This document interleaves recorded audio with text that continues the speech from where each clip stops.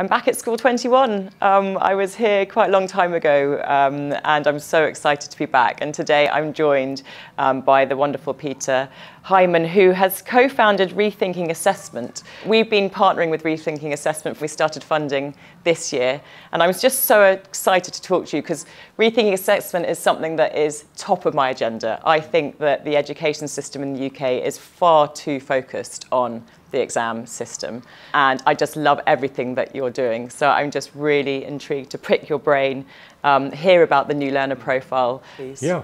Thank no, you. Great to, have, you, great to have you here. Thank you. And it's so important, as you say, because the exam system we think is the big thing that's blocking a more expansive, more holistic education. And we know how unfair it is. We know that a third of young people are labelled or branded as failures every year because of the way uh, the uh, grades are distributed. We know that there are lots of mental health issues by the stress caused by exams. And we know that employers are saying that it's not actually giving them what they want when they come out the other end. So radical change is needed, and we've been working hard not just to say what's wrong with the current system, but to provide real solutions of what we can do going forward.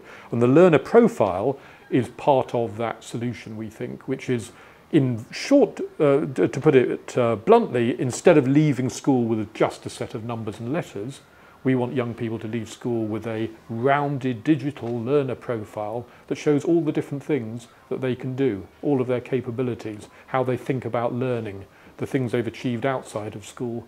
It's re really exciting. I'd love yeah. to see it. Would you be able to give me yes. a show? So the layout you can play with.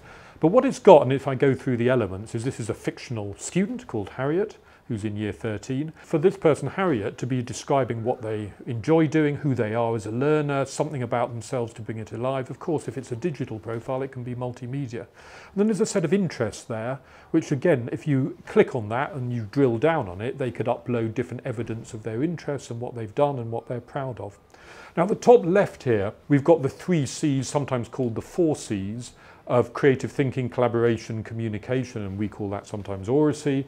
And that is what employers are looking for. That's what they want in the workplace. And at the moment, it's not evidence in schools. So we put it there and we will work with schools to work out how you upload different evidence to show what a student can do. In, and you want this to be something that, that young people at school want to add to the whole time.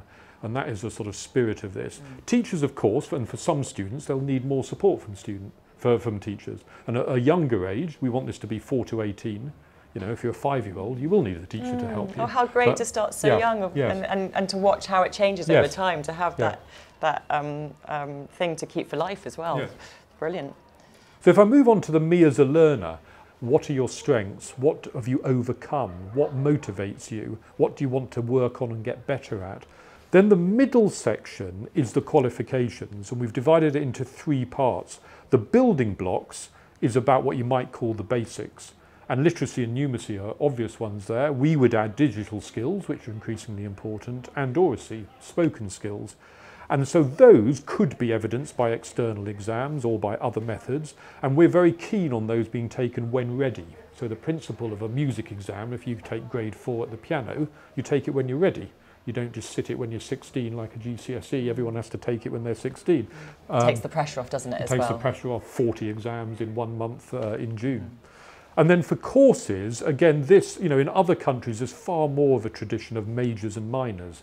At A level, we're doing three A levels and they're all the same size. So it's very possible. The IB, International Baccalaureate, has a bit of that. And we think that's really important that you can take a number of courses, but a, uh, that are minor courses.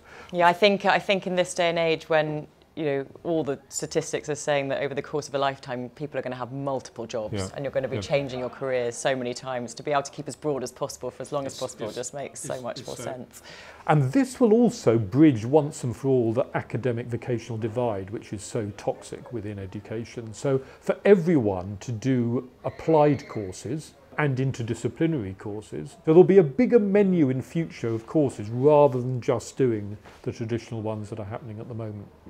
And then the third element of this is a personal project, that it's an interest of theirs, and that it is weighted so that it goes to their, the credits for their final qualification.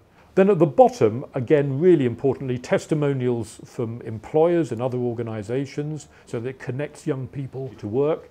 My Beautiful Work is a section that is all about your portfolio. So underpinning this profile is examples of your best work uh, and, and work you're proud of and showing the process of development, the multiple drafts you might have done of a piece of work to show how it's improved. I love that you have that a lot on the walls here, yes. where you can see the first draft, second draft, yes. third draft. It's so yeah. brilliant to see the, how, how, how everyone's got so much better over time. Yeah, and it's that principle of craftsmanship, which in the real world, if we write an article or something, we do multiple drafts and ask people to give comments and, and, and, and all the rest of it.